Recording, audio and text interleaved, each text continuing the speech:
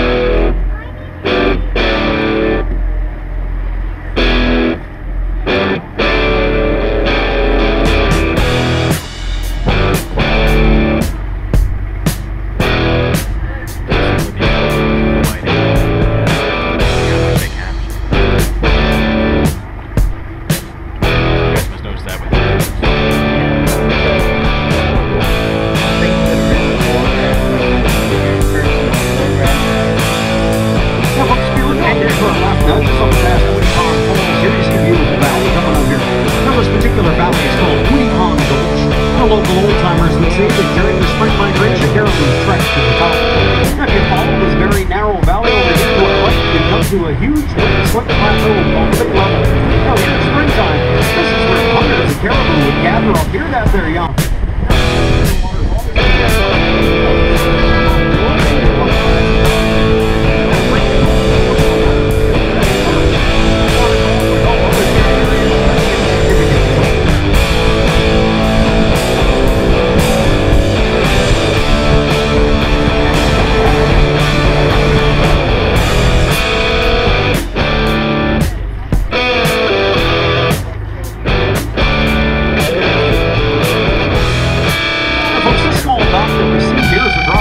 For seasonal hikers during the